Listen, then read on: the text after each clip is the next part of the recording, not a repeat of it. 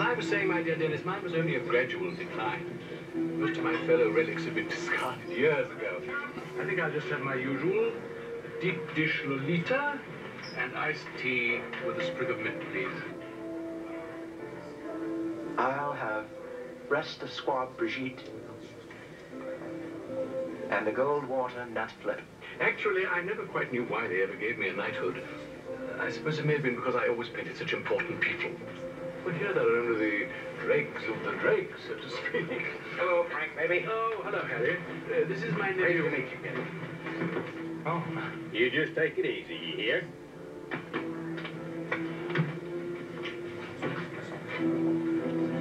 That wasn't the Dusty Acres, was it?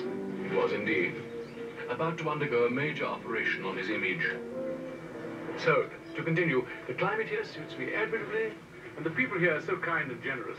They talk entirely for their own pleasure, and they never expect you to listen. Just remember that, dear boy. It's the secret of social ease in this country. By the way, where are you proposing to live while you're out here? Well, I, I hadn't quite decided. Why not come and stay with me then? Thank you, Uncle Francis. That's uh, very kind of you. If you don't mind taking potluck, of course. Well, that reminds me, there's a dinner tonight at the English Club.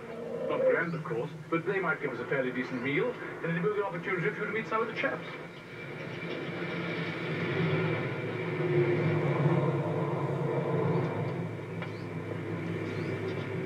Ah, there's Sir Ambrose Abercrombie, one of our most ardent thespians. You've probably seen him, Dennis. He usually plays prime ministers or butlers.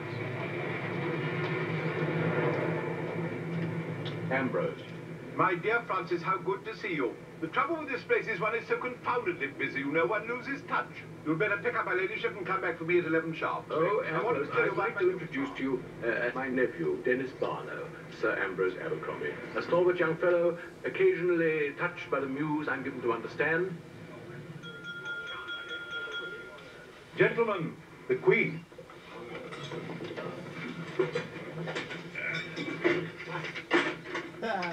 The Queen.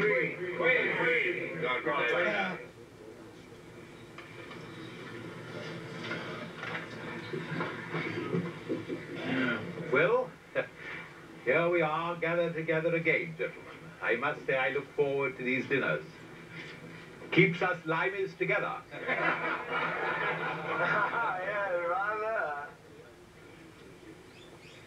As I was just saying to our young friend here, we have to put up a good show.